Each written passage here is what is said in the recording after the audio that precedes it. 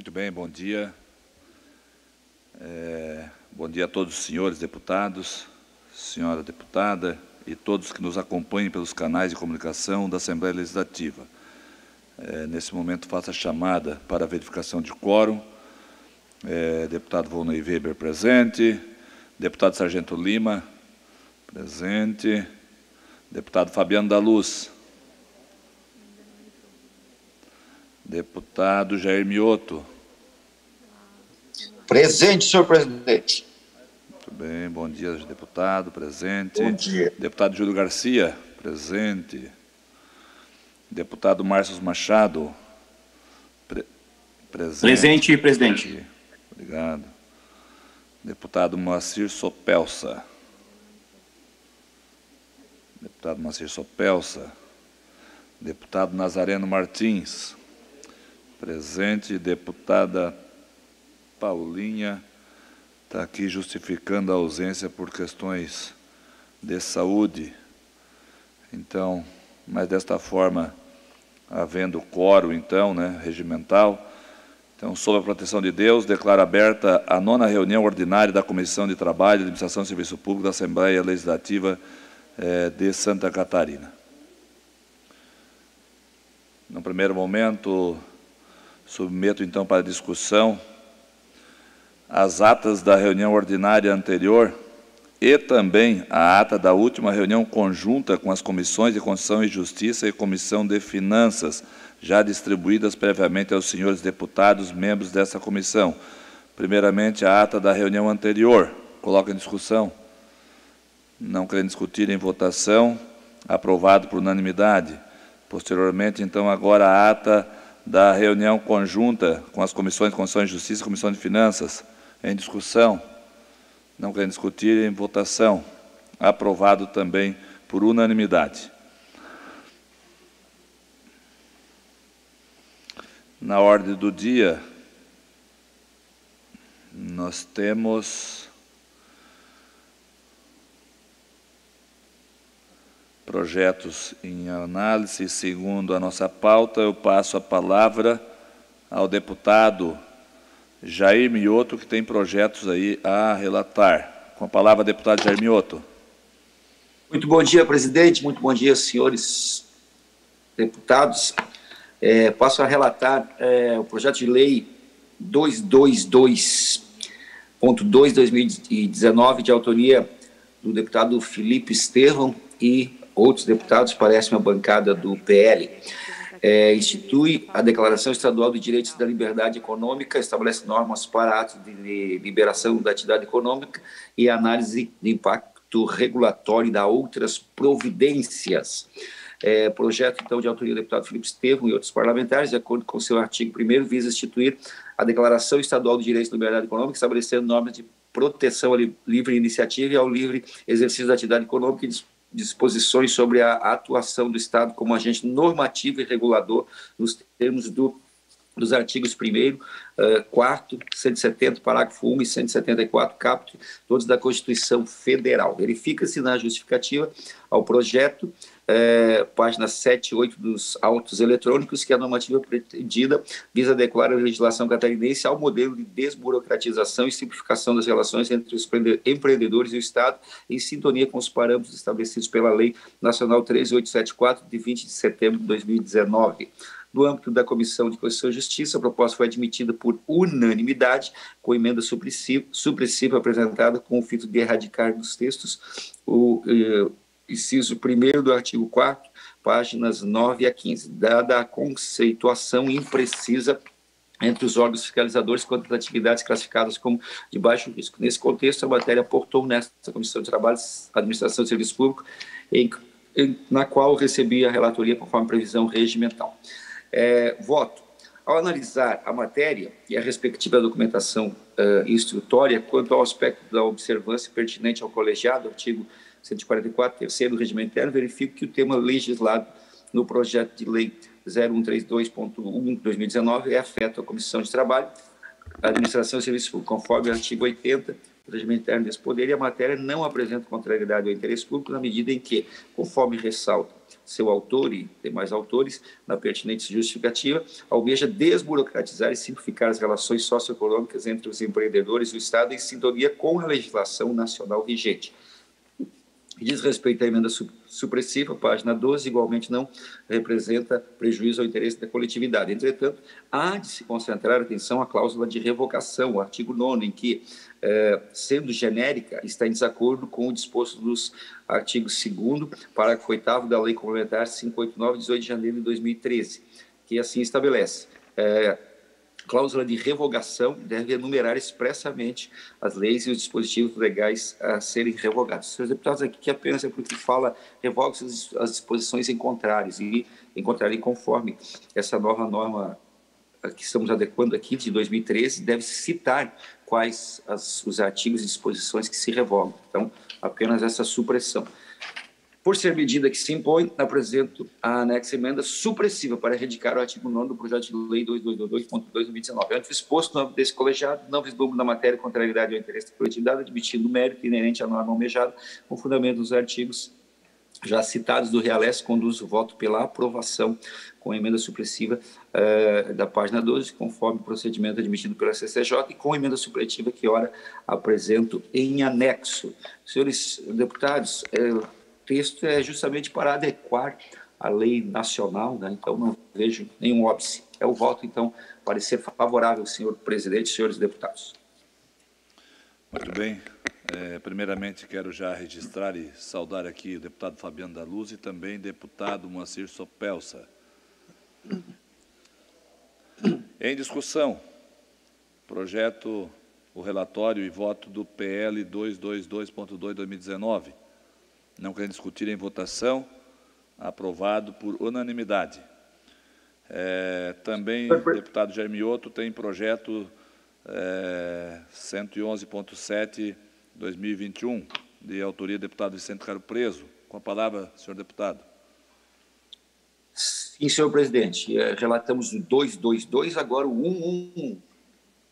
Feliz coincidência numérica. Pois então. É, dispõe sobre a notificação compulsória do teste de triagem neonatal para todas as crianças do estado de Santa Catarina, autoria do nosso querido médico, doutor Vicente Caro Preso.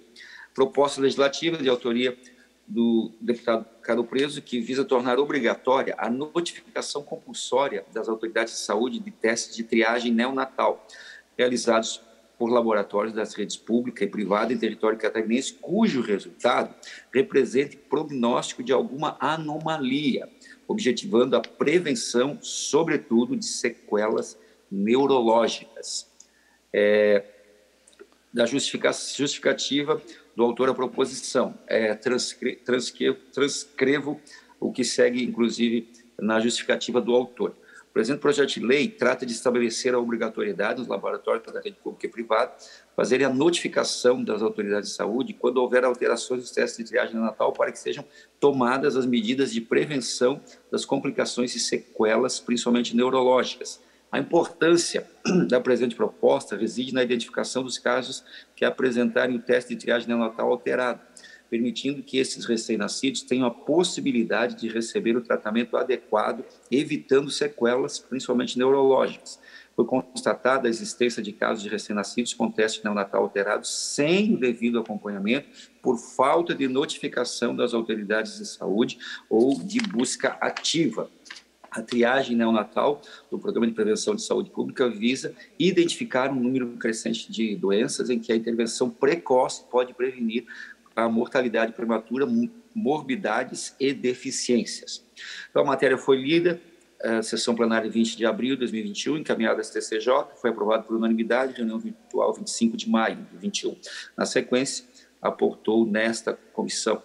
Voto. Da análise da matéria, no âmbito dessa Comissão de Trabalho e Administração de Serviço Público, de acordo com as disposições contidas no artigo 80 e no artigo 144, terceiro do Regimento Interno desse Poder, constato que a proposta em apreciação atende sim ao interesse público, na medida em que, ao estabelecer a notificação compulsória das autoridades competentes de teste de triagem neonatal, cujos resultados delineiem, deliniem é, prognósticos de anomalia, busca garantir que tal informação seja conhecida pelos gestores de saúde pública para que possam delimitar políticas públicas que garantam as medidas de prevenção e tratamento adequado, evitando dessa maneira possíveis sequelas, principalmente as neurológicas. Ante o exposto, considerando superada a análise da juridicidade da matéria, em nome da Comissão de Constituição e Justiça, eh, com base nos artigos 80 e 144 do regimento interno, voto nome dessa Comissão de e Serviço Público pela aprovação do presente projeto, vez que, eh, atendido o interesse público, devendo a proposta seguir seu trâmite na Comissão de Saúde, eh, conforme determinado. Senhores deputados, vejo com muita simpatia este projeto do deputado Vicente Caro Preso e voto, então, pela admissibilidade, parecer favorável. Muito bem, obrigado, deputado Germioto. Em discussão, o parecer de autoria do deputado Germioto. Não havendo quem queira discutir, coloco em votação. Favoráveis permaneçam como estão. Aprovado por unanimidade.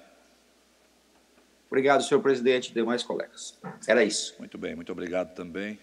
É, com a palavra, o eminente deputado é, Nazareno Martins para relatar o projeto de lei de número 0303.2/2019, de autoria do deputado Ivan Nates. Com a palavra, deputado Nazareno.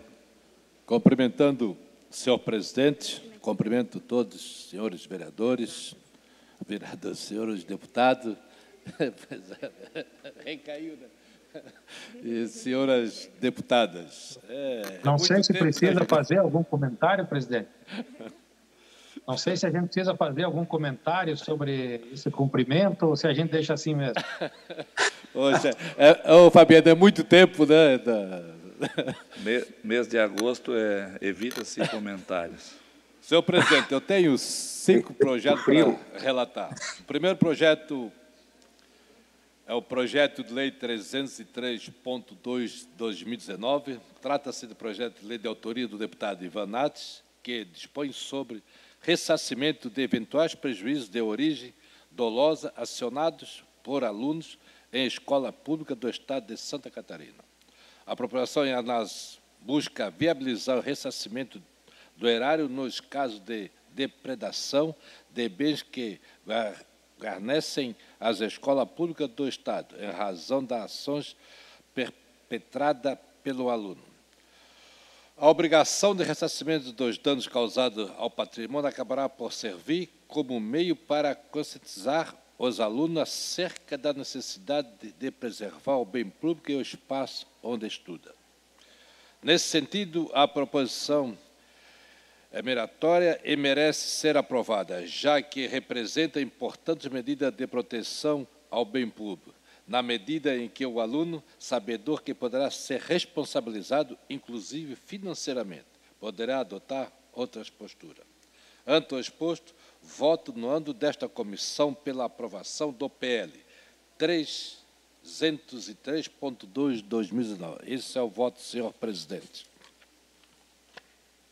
Muito bem, em discussão. Não havendo quem queira discutir em votação, aprovado por unanimidade. É, agora temos também, então, com o deputado Nazareno Martins, o projeto de lei 0491.0-2019, esse de autoria do deputado Felipe Estevão. Também com a palavra, continuando, o deputado Nazareno Martins. Parecer ao projeto de lei 491.0-2019. Trata-se de projeto de lei de autoria do deputado Felipe Estevão, que visa proibir as concessionárias de serviços públicos de, na alteração de tutelidade, cobrar do novo titular débito expediente de quitação. A proposição foi lida no expediente da sessão plenária do dia 10 de dezembro de 2019, tendo sido encaminhada à Comissão de Constituição e Justiça, onde teve sua admissibilidade aprovada. Na sequência, a proposição foi apreciada pela Comissão de Finanças e Tributação, onde Após diligência, o relator designado propôs a sua rejeição. Após voto vista da deputada Marlene Flegg, o relator apresentou novo voto no sentido de devolver a proposição à Comissão de Constituição e Justiça, o que foi aprovado por unanimidade. Em nova análise, a Comissão de Constituição e Justiça a proposição foi novamente aprovada na forma da emenda substitutiva global apresentada pelo relator. Na sequência, a Comissão de Finanças e Tribunal posicionou favoravelmente a tramitação da matéria. Nesta comissão foi designado relator. A proposição em análise busca impedir que as concessionárias de serviço público em operação no Estado de Santa Catarina condicionem a troca de titularidade do serviço à quitação de débitos pendentes pelo novo titular. Como ressaltado pelo autor da proposição, trata-se de prática abusiva, posto que impede a utilização de serviço público de caráter essencial, em razão de débitos que não são de responsabilidade do novo titular. Como bem destacado no segundo parecer proferido pela Comissão de Justiça, os eventuais débitos decorrentes da prestação de serviço não se vinculam ao imóvel, possuindo caráter pessoal, obrigando, portanto, o beneficiário do serviço à satisfação do débito, sendo indevida a pretensão de cobrança do novo titular. A vedação proposta, conforme a emenda expedida global, alcança apenas aqueles débitos de caráter personalizíssimo, não abrangendo portanto, aqueles vinculados ao imóvel. Dessa forma, entendo que a presente proposição, na redação proposta pela Presidente Global, merece ser aprovada. Diante de dois postos, considerando a relevância da matéria e observadas as competências definidas no artigo 80 da Realesc, voto no âmbito desta comissão pela aprovação do projeto de lei número 491.0 na forma da emenda substitutiva global de folhas 57. Esse é o parecer, senhor presidente. Coloco em discussão. Presidente. Com a palavra, deputado Sargento Lima. Esse projeto é o mesmo que eu tinha pedido anteriormente para retornar para a CCJ, para a Comissão de Finanças, é, perdão, né, tendo em vista ali a, a falta de, de, de, da especificação ali, de, de, enfim, de vários dados que eram necessários para a tramitação dele. Mas, da mesma forma é, que, que foi, voltou, então eu expresso aqui o meu voto contrário aqui à matéria aqui, tá bom? Só para registrar meu voto contrário. Muito bem, mas continua em discussão. Não havendo mais quem queira discutir em votação, é, quem se quem concorda permaneça como está, caso contrário se manifeste aprovado por maioria este projeto.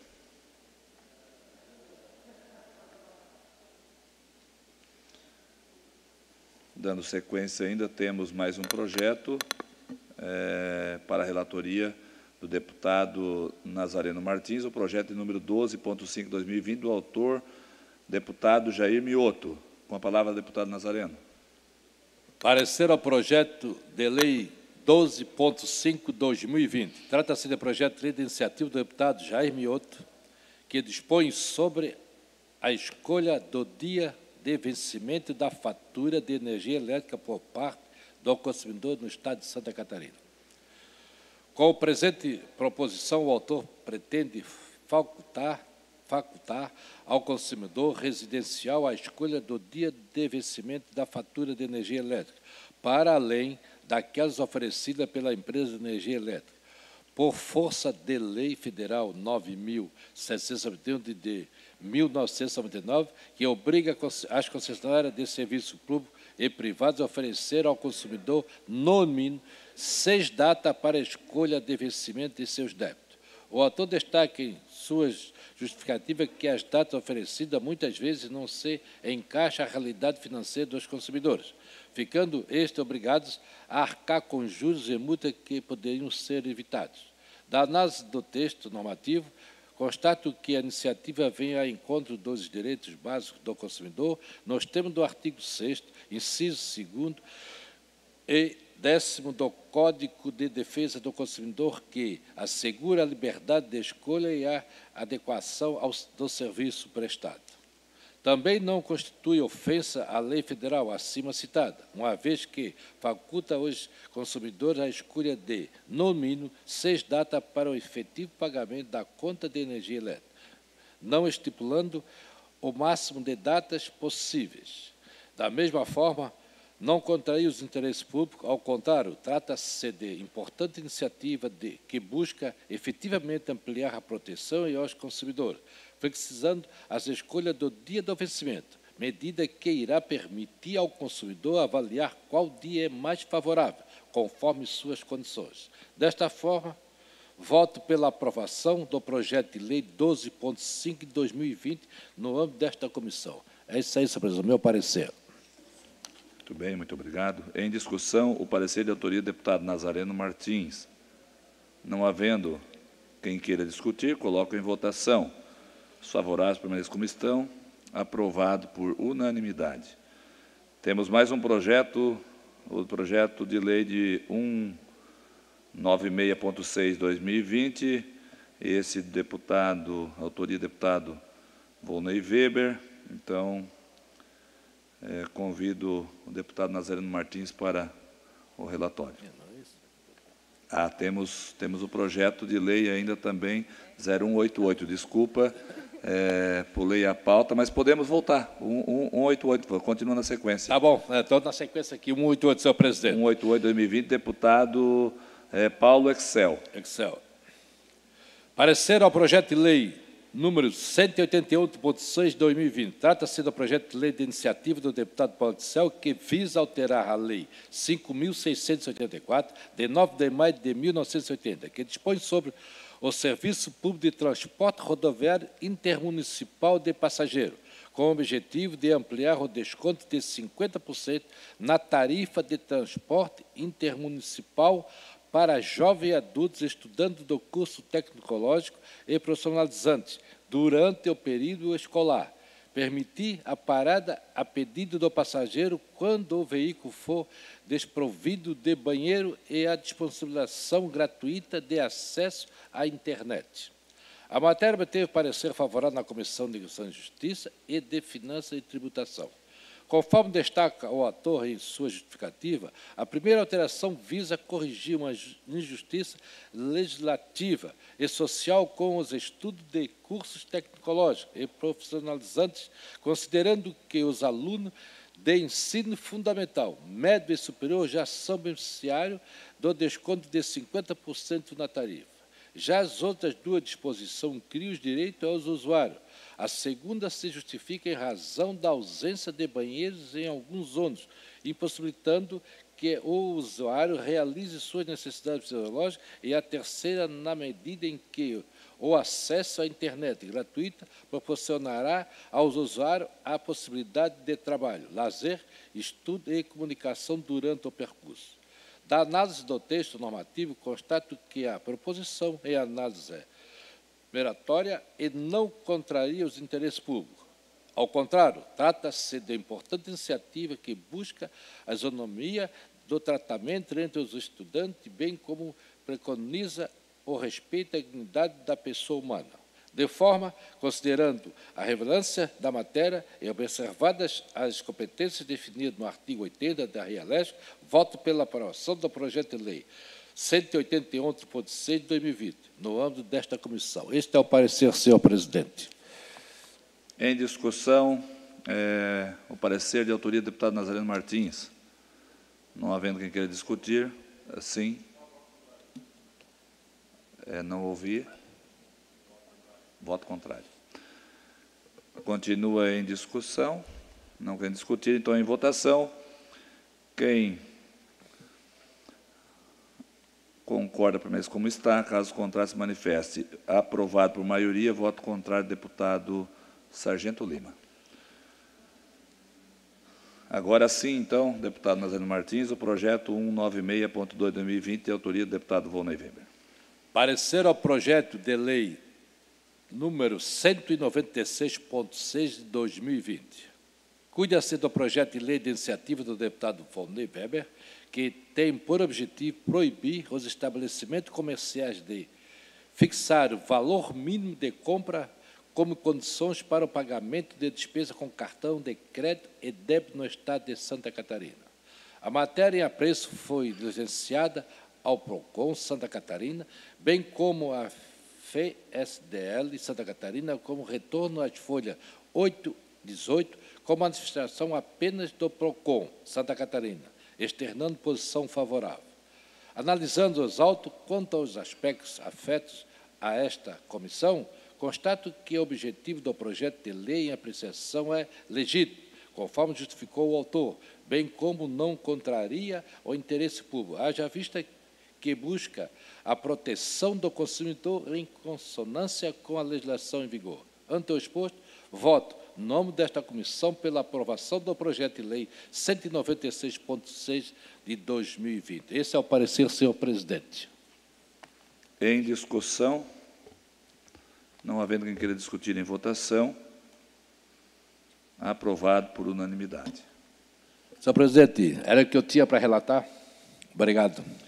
Muito obrigado, deputado Nazareno Martins. Realmente uma pauta bastante cheia, mas deixar esclarecido que a distribuição ela está seguindo dentro dos parâmetros e na igualdade. Porém, tínhamos aqui alguns projetos para um período maior, a avaliação do deputado Nazareno Martins. Então, por isso da, do acúmulo né, dos projetos no dia de hoje. Estavam um pouco represados. Mas, enfim, continuando, né, dando sequência aos trabalhos de hoje, é, cumprimentando de forma especial meu vice-presidente, deputado Sargento Lima, também passando a palavra a ele nesse momento para relatar o projeto de número 190.0-2020, né, aliás, devolução de vistas. Com a palavra, deputado.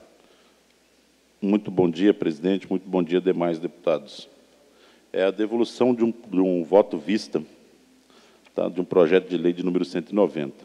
Eu pedi vista esse projeto de lei, presidente, é, de autoria do deputado Paulo Alxel, que altera a lei número 12.630 e institui o Programa Estadual de Apoio à Mulher em Situação de Violência. Segundo a justificativa que consta lá na folha 3, a proposição em tela visa a correção de eventual injustiça com filhos maiores de 14 anos ou descendentes que tenham deficiência mental ou deficiência grave, não podendo a lei fazer distinção em relação à idade para os filhos absolutamente incapazes, cabendo ao Estado a sua integral proteção. A matéria foi aprovada por unanimidade na Comissão de Comissão de Justiça, sobre a relatoria da deputada Paulinha, em reunião realizada no dia 6 de abril de 2021 Relembro aos pares que o relator na esfera deste colegiado, o deputado Jair Mioto, manifestou-se pela aprovação do projeto de lei e, consequentemente, pela continuidade da tramitação da matéria. No entanto, para melhor análise da, da proposição, solicitei vista em gabinete. Da análise dos autos do âmbito dessa comissão de trabalho, com enfoque na disposição contida no artigo 80 do artigo 144 ambos do Realesc, consta que a proposta em apreciação atende o interesse público na medida em que busca atualizar e lapidar a lei que institui o programa de apoio à mulher em situação de violência. Entretanto, entendo necessária a apresentação de uma emenda substitutiva global com o objetivo de atualizar, sim, a Lei 12.630, de 4 de julho de 2003, porém delimitando quem são os considerados dependentes da mulher em situação de violência. Eu vou voltar lá no terceiro parágrafo que eu li, só ler a última frase, cabendo ao Estado a sua integral proteção. Retornando aqui ao quinto parágrafo. Entretanto, entendo necessária a apresentação da emenda, porém delimitando quem são os considerados dependentes da mulher em situação de violência.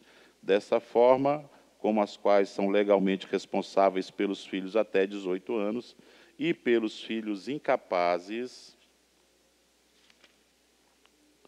prover o seu próprio sustento pela incapacidade física ou mentalmente, nada mais justo que os mesmos sejam contemplados pela lei. Ante o, ante o exposto, acompanho o voto do relator designado âmbito dessa comissão e o meu voto de vista é pela aprovação, antes, sem antes ler a emenda substitutiva global ao projeto, que altera a Lei número 630 de 2013 e que institui o Programa Estadual de Apoio à Mulher em Situação de Violência. de 4 de julho de 2003. O programa referido no caput desse artigo objetiva apoiar as mulheres em situação de violência seus filhos até 18 anos, em qualquer idade, incapacidade física ou mental para o trabalho e prestar serviço de apoio e assessoria às entidades que desenvolvam ações voltadas ao atendimento da mulher. Serão escolhidos no centro mulheres em situação de violência e seus filhos de até 18 anos, e, ou em qualquer idade, para que, seja, que quando seja incapacitado físico ou mentalmente para o trabalho, cujo retorno domiciliar, representante efetivo, risco de vida, segundo a avaliação da delegacia da mulher. Lá no artigo 2 é só que a lei entre em vigor. Eu baixei aqui, presidente, só para a gente dar uma, uma brilhantada no que significa dependente, por causa do porquê dessa alteração, que dependente é, são isso aqui baixado lá do guia trabalhista, tá? É, é, é trata-se diretamente é, do tema da nossa, da nossa comissão. São beneficiários do regime, cônjuge, companheira, companheiro e filho emancipado de qualquer condição, menor de 21 anos ou inválido, os pais, o irmão não emancipado de qualquer condição, menor de 20 anos de idade ou inválido, dependência econômica das pessoas que trata na letra A é presumida, as demais devem ser comprovadas. Os dependentes da mesma classe concorrem em condições iguais. A existência de dependente de qualquer das classes exclui o direito da prestação das classes seguintes. Só para deixar bem claro uh, o que, que é a diferença ali, o porquê de frisar bem quem são os dependentes da mulher ali. Então, meu voto é pela aprovação com a emenda substitutiva global, presidente. Obrigado. Muito bem. Primeiramente, por ter precedência na votação o parecer do relator, deputado Jair Mioto, consulto o deputado Jair Mioto se mantém o seu voto.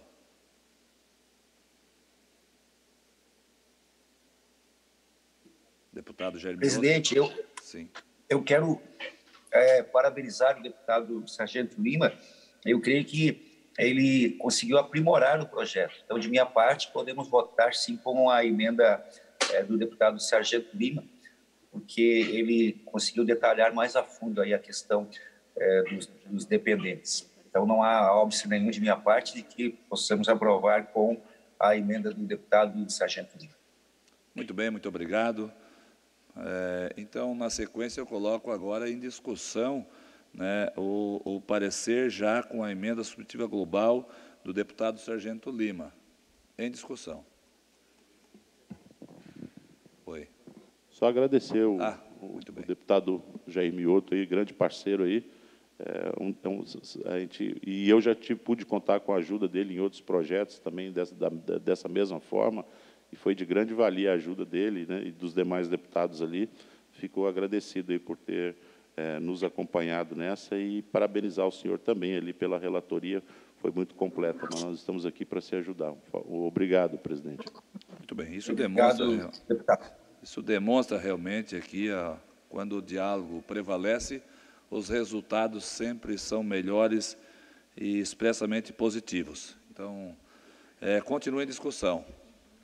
Não havendo mais quem queira discutir, então, em votação, né, o parecer do deputado Jair Mioto, mas também, já com a emenda substitutiva global, o deputado Sargento Lima, é, aprovado por unanimidade.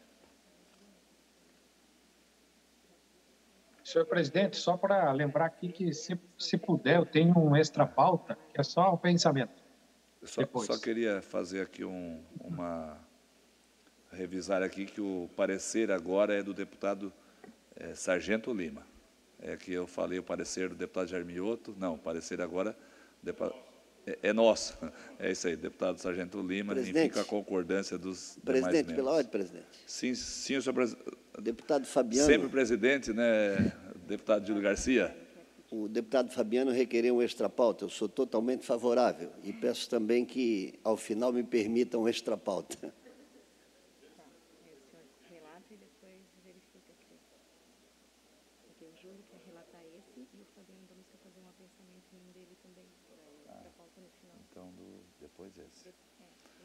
Muito bem.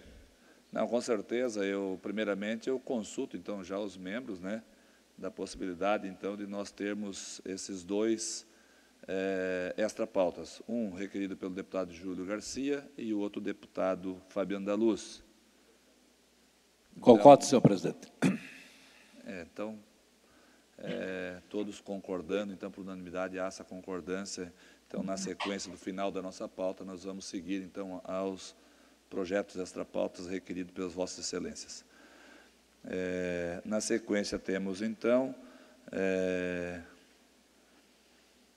para a relatoria, o deputado Volney Weber, a autora aqui é a deputada Paulinha, o projeto é 0496.4-2019. Então, trata-se de projeto de lei de autoria do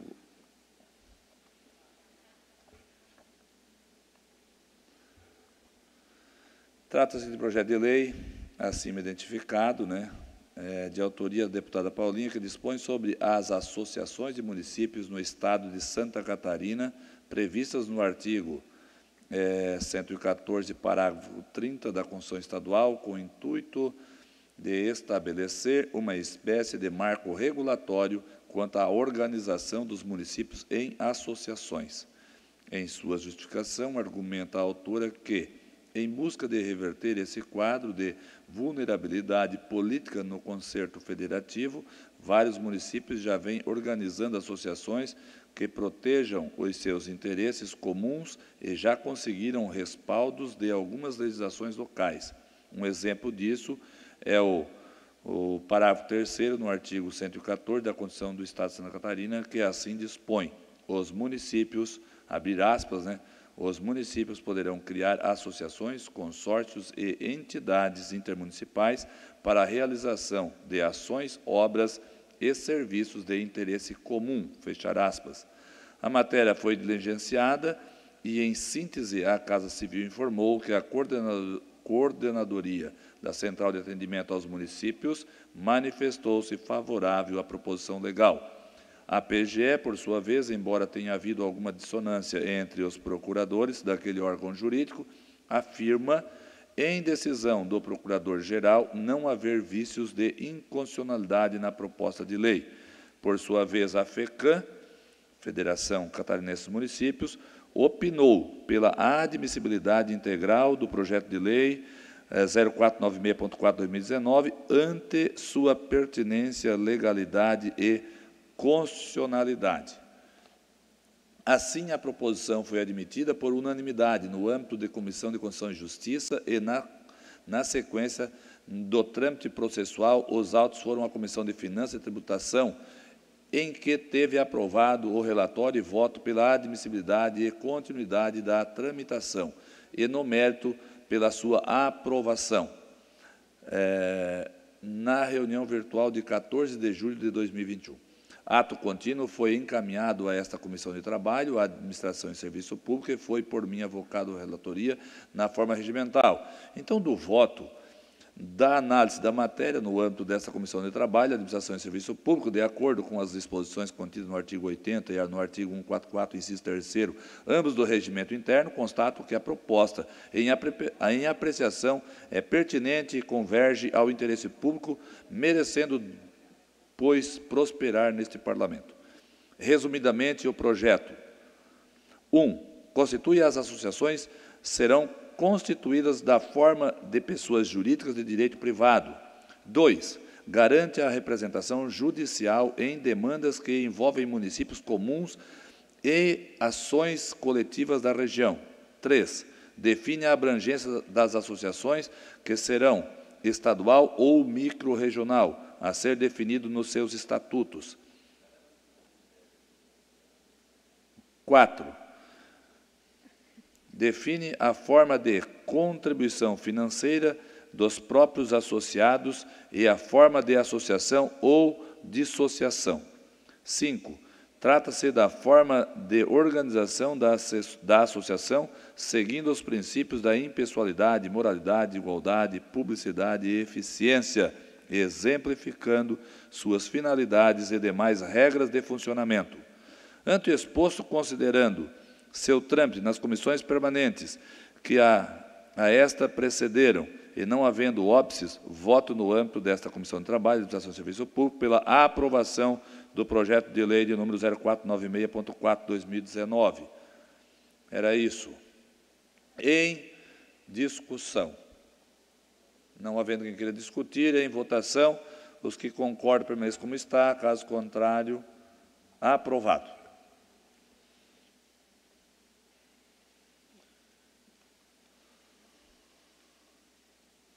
Também me coube a relatoria do projeto de número 266.3-2021, esse de autoria do governador do Estado, né, relatório e voto do projeto de lei, então. Trata-se de projeto de lei de autoria do governador do Estado, atua, autuado sob o número 0266.3-2021, que, abrir aspas, autoriza a cessão de uso de imóvel no município de Bom Retiro, fechar aspas. De acordo com a exposição de motivos, a proposição tem o intuito de viabilizar a construção na área em objeto por aquela municipalidade de portal turístico, mirante, estacionamento e área de convivência, entre outras estruturas que servirão à atividade turística a ser desenvolvida na localidade. Voto. Compete essa comissão pronunciar-se quanto ao interesse público em face dos seus campos temáticos ou áreas de atividade relacionados nos incisos 1 a 19 do regimento artigo do, regi, do regimental, artigo 80. No caso em análise, mais especificamente, por se tratar de matéria que envolve o patrimônio público do Estado, inciso é, 11 do artigo 80 do RIALESC, considerando os pareceres unânimes das comissões permanentes antecedentes CCJ e Finanças, bem como o fato de que a matéria converge para o interesse público estadual, vez que a destinação do referido imóvel sub, subutilizado pelo Estado de Santa Catarina servirá para o fomento da atividade turística no município de Bom Retiro. Manifesto, então, pelo o voto pela aprovação do projeto de lei de número 266.3/2021, restando a proposição apta à conclusiva deliberação do plenário deste Poder Legislativo. Em discussão. Não havendo quem queira. Eu, presidente. Márcio Machado. Com a palavra, deputado Márcio Machado. Obrigado, presidente. Deputado Volney Weber, cumprimento em vosso nome aos demais integrantes desta importante comissão. Quero aqui parabenizá-lo pelo é, pronto e eficaz relatório em relação a esse projeto tão importante que o município de Bom Retiro está trabalhando há muito tempo. E aqui quero cumprimentar o prefeito, o Albino, o secretário Jefferson, que estão empenhados, juntamente com o vice-prefeito Ferreirinha e demais vereadores, enfim, Serginho, o, o Cláudio. Esse projeto é um projeto que vai trazer um impacto é, turístico muito grande na Serra do Panelão, é, entre o município de Bom Retiro e Urubici. É, eu tive a oportunidade de ter reunião com o secretário Tasca, quero aqui agradecer ele também pela, pela disponibilidade e agilidade de conseguir parte desse terreno que é do DENIT, então, que é do Estado, DENIT não, de Infra, que é do Estado, para que a gente possa fazer um local, um complexo de turismo gigantesco lá, no qual vai beneficiar e muito toda a região serrana. Então, na realidade, a minha fala é de cumprimentando a Vossa Excelência e também pedindo o apoio, solicitando o apoio aos demais colegas para que a gente possa aprovar esse projeto. Obrigado. Continua em discussão. Quero só registrar também que fico muito feliz que, através das nossas decisões aqui, nós possamos sempre contribuir para sempre o bem-estar melhor dos catarinenses e o fortalecimento do nosso Estado. Então, não havendo mais quem queira discutir, é, em votação, aprovado por unanimidade.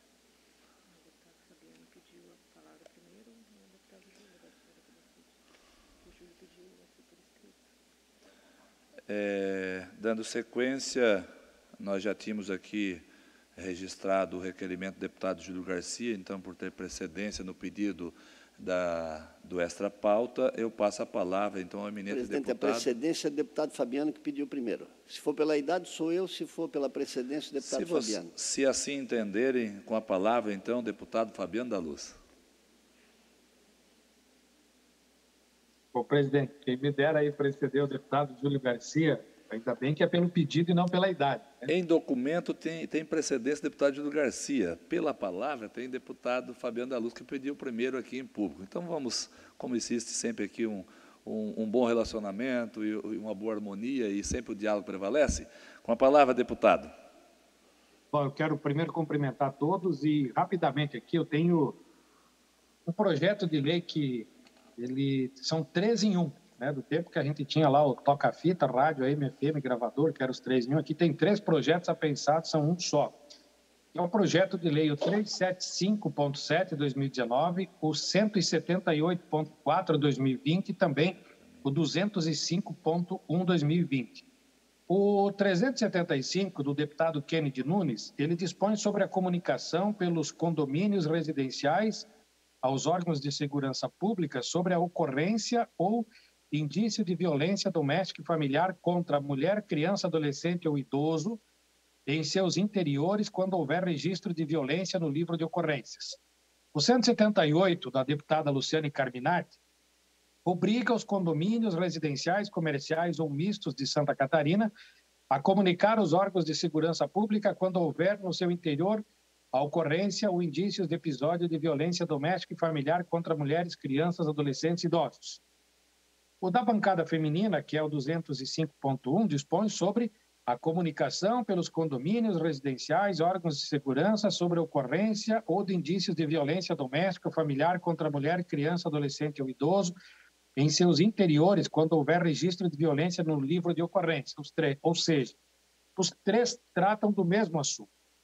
É, e no voto aqui, senhor presidente, eu voto no sentido e considerar esta comissão incompetente para apreciação dos projetos de lei, propugnando pelo encaminhamento do requerimento ao primeiro secretário que retornem à apreciação da Comissão de Constituição e Justiça para que saneie o processo legislativo com a sua devida manifestação acerca da jurisdicidade da, das duas das três proposições apensadas aparentemente esquecidas e sequencialmente tramitem na Comissão de Direitos Humanos e na Comissão de Defesa do Direito do Idoso. Ou seja, não é a Comissão de Trabalho que tem que julgar isso aqui, tem que passar pela Comissão dos Direitos Humanos e também na Comissão de Defesa dos Direitos do Idoso, senhor presidente.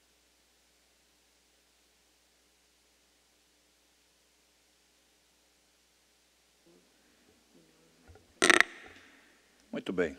Então, eu coloco nesse momento em discussão a proposta do deputado Fabiano, que é o requerimento, né, levando à Comissão de Direitos Humanos e do Idoso. Em discussão. Não havendo quem queira discutir, em votação. Aprovado, então, por unanimidade esse encaminhamento. Muito bem, muito obrigado, deputado Fabiano da Luz. Nesse momento, então, eu passo agora a palavra ao nosso sempre presidente, deputado Júlio Garcia. Muito obrigado, presidente. Saudar também os demais colegas deputados. É, trago para apreciação dessa comissão o relatório voto ao PL 43.1/2021 inclui ao anexo da lei ao anexo 1 da lei 16720/2015 que consolida as leis que dispõem sobre denominação de bens públicos no âmbito do Estado de Santa Catarina. Autoria deputado Vicente Caro Preso. Cuida-se de projeto de lei de autoria do deputado Caro Preso que inclui ao anexo 1 da 16720 de 2015, que consolida leis que dispõem sobre denominação de bens públicos no âmbito do Estado de Santa Catarina, com o fito de denominar o Centro de Eventos Balneário Camboriú com o nome de Centro de Eventos Júlio Tedesco. A homenagem é mais do que justa pela história do homenageado através desse projeto do deputado Vicente Caro Preso, que na justificativa diz o seguinte, abre aspas, Júlio Tedesco foi um dos maiores entusiastas de Santa Catarina. Nascido em Caçador no dia 4 de fevereiro de 1948, Apaixonado pelo litoral catarinense, foi um dos pioneiros a vislumbrar o potencial turístico de Balneário Camboriú. Foi ele quem denominou Barra Sul, aquele cantinho da praia que hoje é um pujante recanto repleto de empreendimentos de alta classe e destacado bom gosto. Empreendedor ímpar, engenheiro, o empresário, muito à frente do seu tempo, apostou alto nos equipamentos de entretenimento da cidade. Criou o Parque Unipraias, o Barco Pirata e a incrível Marina Tedesco. Da análise da matéria no âmbito desta Comissão de Trabalho e Serviço Público, de acordo com as disposições contidas no regimento interno, constato que a proposta de apreciação não contraria o interesse público na medida em que, busca, em que busca homenagear o ilustre catarinense Júlio Tedesco, atribuindo seu nome ao Centro de Eventos Balneário Camboriú. Da documentação acostada, restava ausente a certidão que dá cumprimento ao que preconiza a nova redação da 16720, conferida pela Lei 18.010, certificando este Parlamento que não haja contra o homenageado sentença transitada em julgado quanto aos crimes descritos no caput e incisos daquele dispositivo legal, as quais encaminha anexado a este relatório e voto para que seja devidamente acostada para que seja devidamente acostada aos autos. Assim, suprida a documentação instrutória, que é necessária para compor os autos, com base no artigo 80 e 144 do Regimento Interno, voto pela aprovação do PL 43.1, 2021, de autoria do deputado Vicente Caropreso. É o relatório e voto, senhor presidente. Muito bem, muito obrigado pela contribuição. É, coloco em discussão. Não havendo quem queira discutir, coloco nesse momento em votação. Os que concordam permaneçam como estão, caso contrário, aprovado por unanimidade. Muito bem, é, não tendo mais é, assuntos e projetos na pauta, eu abro a palavra. Não havendo quem queira usar da palavra, eu, nesse momento, então, declaro encerrados os trabalhos do dia de hoje e desejo sempre muita paz, muita saúde e que cada um faça um bom trabalho no dia de hoje. Grande abraço.